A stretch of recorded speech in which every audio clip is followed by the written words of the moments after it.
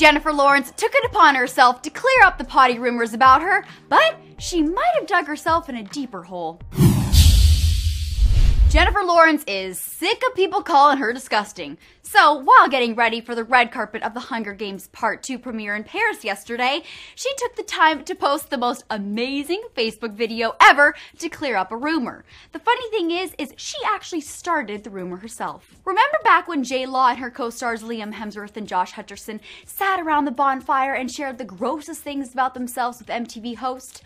Well, Lawrence thought it would be funny to say this right after touching her co stars' faces with her hands. I don't wash my hands after I go to the bathroom?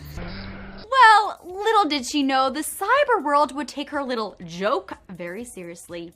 So, J Law recorded this video to set the record straight because, let's be honest, that is one disgusting rumor that no one wants to live with. But she might have actually made matters a little worse. You be the judge.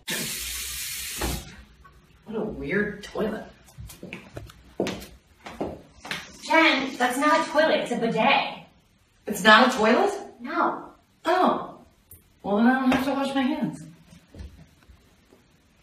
Clearly, Jen didn't learn the first time that some fans just don't understand her sarcasm. Well, hopefully they will catch on to the joke this time. Regardless, this video just proves that Jen doesn't really care what people think about her. It's her witty sense of humor that we love the most. And hey, maybe she just wanted to save water and planned on using Purell later. You'll never know.